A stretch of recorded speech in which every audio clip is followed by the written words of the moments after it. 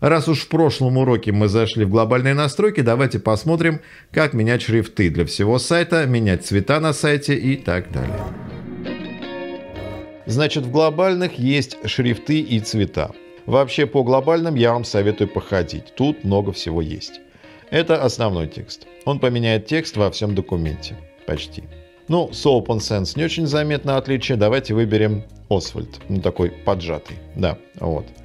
И чтобы точно была заметна разница, мы еще и цвет поменяем. Таким образом, везде, за редким исключением, связанным с настройками блоков, у нас поменялся шрифт.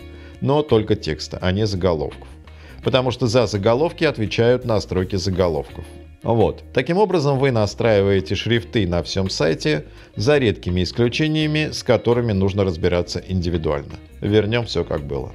Дальше цвет фона сайта. Как сделать сайт черным? Очень просто. Выбираете фон страницы черный, и ничего не происходит. А почему?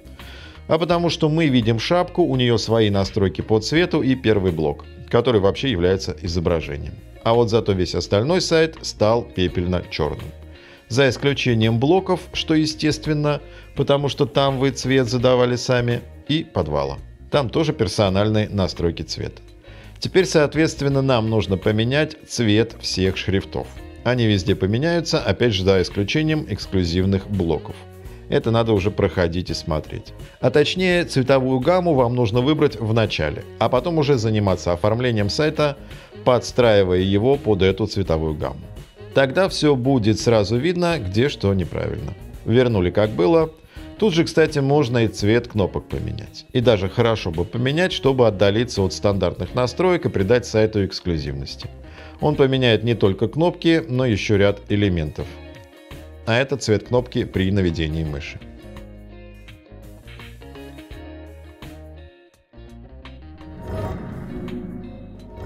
Да, какое же время наступило. Я помню, как на заре сайта строения изменение цвета при наведении мыши было прорывом.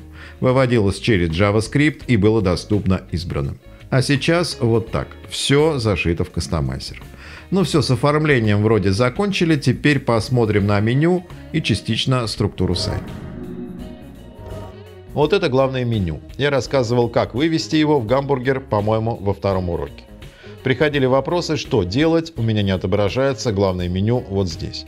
Такое бывает, если вы ставите Кандинский не на чистый WordPress, и на предыдущем сайте у вас были какие-то настройки. А вот здесь внешний вид, меню – должна стоять галочка «Область отображения главное меню». Но обратите внимание, что здесь должно быть главное меню, потому что можно выбрать другое. Потому что если не стоит галочка, меню отображаться не будет. А вот, ни здесь, ни здесь. Не забывайте сохранять изменения. Здесь настраиваются пункты меню. Подробнее я рассказываю об этом в курсе по WordPress, но у нас там была история с новостями, которых нет нигде на сайте. Давайте быстро добавим в главное меню. Вот отсюда, например. В свежих нет, вот во всех. Значит, новости и добавить в меню. Сохранили. На сайте появилось не только меню, но и новости. Так, теперь что касается вот этих меню. Это тоже меню, и они тоже настраиваются. Это у нас подвал. Здесь вообще настройки подвала. Во втором уроке я показывал, из чего состоит сайт. Шапка, центральная динамическая часть и подвал. Шапка и подвал – статические элементы. Настраиваются один раз. Тут логотип, название организации. Имейте в виду, что он не подхватывает это из шапки. Еще раз, это статика. Нужно один раз прописать и забыть. Ну или не забыть и вернуться, если что-то изменилось. Это колонки. Всякие часы работы, email, который надо бы добавить, и, собственно, меню. Вот это наша работа. Это новости. Можно поменять название. Само меню вы выбираете здесь. Вот, например, выбрали новости в подвале, и у нас будет два одинаковых меню. Или выбрали нет, и у нас будет только одно меню. И тут нет, и вообще ни одного. А можно, например, добавить сюда главное. Где берутся эти меню, как их редактировать. А вот здесь. Внешний вид, меню, и здесь вы выбираете, какое меню редактировать. Вот, наша работа в подвале. Галочки здесь стоять не должно, это не главное меню.